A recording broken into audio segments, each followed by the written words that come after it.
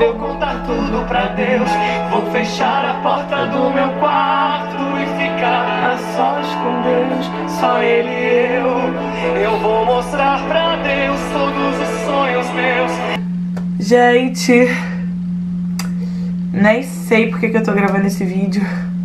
Eu tava aqui produzindo um outro conteúdo pra vocês. E não sei. Vamos lá. Nem sei porque eu tô fazendo esse vídeo. É, eu escutei uma música que agora é sem querer na internet. Que é do Leandro Borges, Deus e Eu. É uma música, é um, é um hino, né? Muito bonito. E eu comecei a pensar várias coisas sobre, sobre mim, sobre a minha vida, sobre quem eu sou sobre quem eu era, sobre as mudanças que Deus fez na minha vida que eu jamais imaginei. É, e eu, eu tô fazendo aquilo que Deus falou pra mim: pega a câmera e grava. tô aqui gravando, gente. É. Tô perdida. É, hoje de manhã eu tava também pensando muito em muita coisa, assim, que aconteceu na minha vida de dois anos pra cá, né? E aí eu comecei a pensar assim, só eu que vivi a minha vida, só eu que sei, né? E eu comecei a pensar assim, eu falei, gente, há dois anos atrás, tanta coisa que eu conquistei e que eu tinha debilidades ou até que eu achava que seria impossível. Eu consegui é, Deus me abençoou muito. E ele foi além do que eu podia imaginar. E eu falo pra vocês o seguinte: às vezes a gente pede a Deus tanta coisa que a gente esquece de perguntar para Ele o que Ele realmente quer. A gente esquece que qual é a vontade dele, a gente só quer a nossa. É, tava aqui lembrando de quando eu entrei pra faculdade, eu queria muito fazer contabilidade numa faculdade federal, que é o FRJ ou a Rural. Era meu sonho. Ai, não, tem que passar por uma faculdade federal. Enfim, fiz o Enem, não fiz para vestibular, fiz o Enem. Passei depois da, se eu não me engano, da segunda tentativa para a faculdade rural, que é numa outra cidade, que é mais ou menos a quase duas horas daqui. E quando eu passei pra faculdade, eu pensei assim: caramba, tô aqui realizando agora o meu sonho. Deus, muito obrigada pelo que o Senhor me deu. Essa era a sensação. E eu fiquei muito feliz. Nossa, consegui o que eu queria. Minha nota tá excelente. Vambora, vambora. Vou falar com a minha família. Só que eu trabalhava nessa época numa imobiliária até as 6 horas da tarde. E aí eu comecei a ficar com aquele pensamento: caramba, vou ter que sair do meu trabalho como é que eu vou fazer? Eu passei no segundo semestre da faculdade, então não tinha alojamento. Geralmente, faculdade pública, né, tem alojamento e tal. Só que, igual eu passei no segundo semestre, não tinha em julho. Só ia abrir em janeiro do próximo ano. Eu comecei a ficar naquele desespero. O que, que eu vou fazer agora? Fui. Falei com os meus pais, olha, passei, passei, passei. E eu lembro hoje, minha mãe falando pra mim, filha, não tem como você ir eu trabalhava é, até as seis e a aula começava às seis. Eu já tinha visto o horário das aulas e eu falei: se eu sair do trabalho às seis e a aula começa às seis, até eu chegar lá, leva uma hora e meia, quase duas horas, dependendo do trânsito. Como é que eu vou fazer? Vou ter que sair do meu emprego. E aí foi um momento que eu tive que ver com a minha família a possibilidade deles custearem, né, esse período que eu fosse ficar em seropédica ou fosse ficar sem trabalhar. Infelizmente não dava para os meus pais, né, me bancarem para eu estudar em outro lugar. Infelizmente. E aí, nessa hora eu pensei assim, já era. Ou, tipo, tudo que eu queria foi por água abaixo. E eu comecei a questionar Deus. Eu falei, Deus, mas o Senhor me deu um negócio e agora o Senhor tá me tirando. E aí, como é que fica? Só que eu falo, tudo tem um propósito. Tudo tem. Ah, Camila, o meu ainda não chegou, vai chegar. Porque não é no tempo que a gente quer, no tempo dele.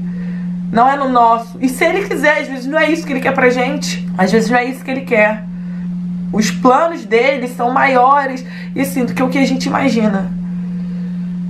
Quando eu achei assim, pronto, perdi minha faculdade, Deus me deu uma outra oportunidade de me inscrever para tentar uma bolsa numa faculdade particular que aqui no Rio de Janeiro, eu não sei nos outros estados, ela é bem conhecida, que é a Estácio. É... E eu fui lá e me inscrevi. Deu tudo errado com a documentação que eu tinha que levar, porque eu tinha que reconhecer em cartório. E só tinha um dia para fazer isso. E eu estava em segundo lugar para disputar essa vaga. E aí eu falei assim: bom, já era, porque só tinha uma vaga. E quando eu peguei o papel, olhei, eu falei assim: tem uma pessoa na minha frente. Perdi, já era. É... E eu lembro que eu virei pra moça e falei assim: esse rapaz, porque a gente chegava e tinha que assinar, né? Eu falei assim: esse rapaz aqui ainda não assinou. É, se ele não vier, a vaga vai ser minha? Ela falou sim. Eu juro pra vocês que eu não orei para que ele não fosse. Nenhum momento eu desejei que ele não aparecesse lá. Eu só pensei assim, Deus, que seja feita a sua vontade. Nem expectativas eu criei com essa vaga. E aí eu passei. É, não pago passagem para ir pra aula. Só assim, o dia que eu estiver muito atrasado, porque 10 minutos da minha casa. Não tem custo nenhum. Então, assim, e é o curso que eu queria, perto da minha casa. Na época eu não precisei sair do meu trabalho. Ou seja, Deus, ele me entregou uma coisa maior do que eu podia imaginar. E eu vejo muita gente que me manda mensagem reclamando da vida. A gente faz muitos questionamentos muitas comparações. É preciso entender que cada um tem uma realidade. É, só não desista, não deixe de correr atrás do seu. Eu acredito no mover de Deus, acredito no milagre que Ele tem, que, no, no poder que Ele faz.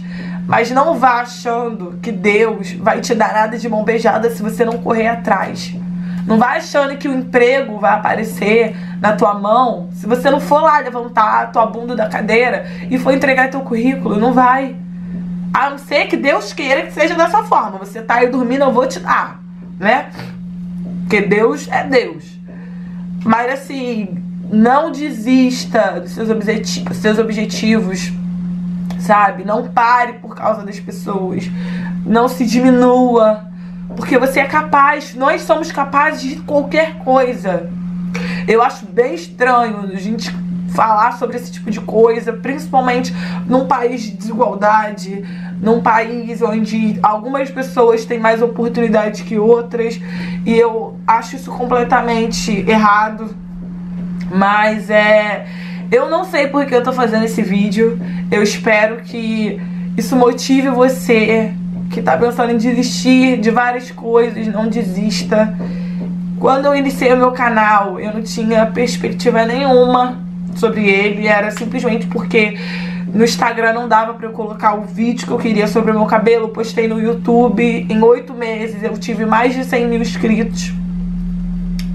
Deus fez vários milagres na minha vida a respeito de trabalho, mudou minha vida completamente. Eu saí do meu emprego, é, eu era uma pessoa tão fechada, eu não tinha, assim.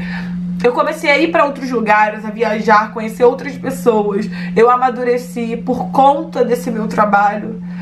É, eu não tinha perspectiva nenhuma. Então, assim, o sonho de Deus na minha vida foi maior do que o que eu pude imaginar. Eu tava trabalhando num lugar que eu não estava mais feliz. E ele apareceu com isso na minha vida que transformou totalmente. Não sei o dia de amanhã. Estou vivendo o meu hoje.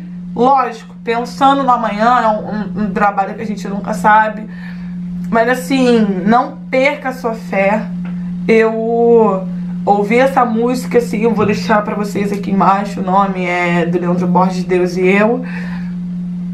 Porque assim, escuta esse louvor, faz uma reflexão da sua vida, sabe? Pensa em quem você era, em quem você é, você tá feliz com quem você se tornou, quem você quer ser, sabe? Que tipo de influência você quer passar na internet. Eu, a minha vida, eu tenho certeza que ele é um canal para você. Eu não crio só os meus conteúdos porque, ah, meu trabalho dá dinheiro, é consequência. Mas eu quero poder transformar. Vocês não sabem quanto me alegra as pessoas me mandarem mensagem. Falando assim, Camila, vi um vídeo tal, seu, que transformou a minha vida. Eu tô falando pra vocês de coração. Porque na minha época eu não tinha inspirações. Por mais que eu venha aqui igual uma doida, porque eu sou assim. É, eu gosto de fazer a diferença na vida do outro. Então faça uma reflexão da sua vida, de quem você é. O que de bom você faz pro próximo. Você contribui com o quê? Sabe? É... É isso, é isso que eu não sei nem o que, que eu tô falando, gente. Assim, eu nem sei o que, que eu tô fazendo. Tô, sabe, ó.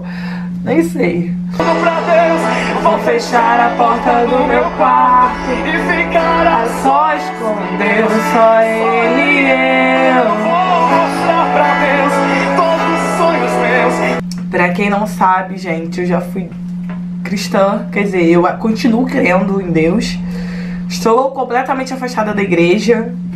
Falar nisso já tem até um tempo que eu não vou, né? Mas assim, Deus continua sendo um canal na minha vida. Não tem nada que acontece sem a permissão dele. Nada. É, assim, muita coisa. É por causa dele. E eu vejo Deus em todas as coisas que acontecem na minha vida. Hoje eu fico até com um pensamento que eu acredito que seja até errado porque eu não gosto nem de pedir mais nada a Deus. Porque ele já fez tanta coisa boa comigo, gente, que vocês não têm noção. Se não fosse ele na minha vida, talvez eu teria virado uma pessoa depressiva. Porque, como eu já falei pra vocês, já sofri muito em época de escola e tal. E eu tenho a certeza que se não fosse ele para curar todas as feridas da minha vida, eu seria uma pessoa ainda pior. É. Então é isso, sabe? Tô aqui vivendo a minha vida, por mais que eu esteja afastada, Deus ele tá presente em mim. Eu sinto a presença dele. E eu sei que ele vai fazer muito mais ainda. Não só na minha vida, como na sua. Apenas creia, entenda que não é no seu tempo, é no tempo de Deus. Vou finalizar esse vídeo por aqui, gente, porque nem sei porque que eu tô fazendo ele, mano. Eu tô, assim, completamente assustada. É isso. eu fico toda tímida, né, quando eu faço esse, esse tipo de coisa, sei lá. É isso, gente. Beijo e até a próxima. Gente, o que, que Deus tá querendo? Clicar. Deus, o que, que você tá querendo? Uma hora dessas, que horas são? Olha só, meio de pouca. Gente, não é possível. Olha, brincadeira, gente, vou falar pra vocês. Ai, cara. Só Deus, gente, não aguento uma hora dessas, Senhor Jesus. Tchau.